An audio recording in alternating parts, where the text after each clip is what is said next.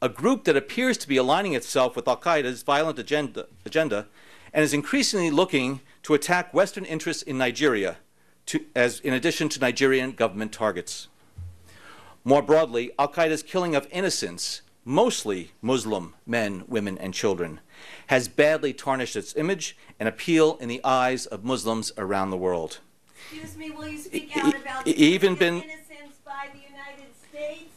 What about the hundreds of innocent people we are killing with our drone strikes in Pakistan and in Yemen and Somalia? I speak out on behalf of those innocent victims.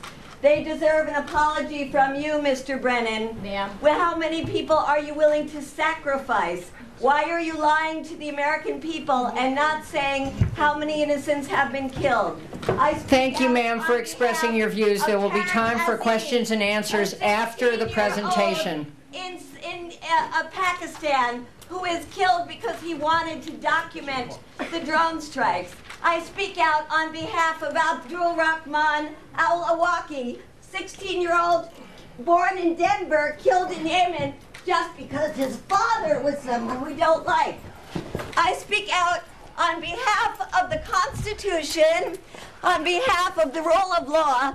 I love the rule of law. I love my country. You are making us safe by killing so many innocent people around the world. Shame on you.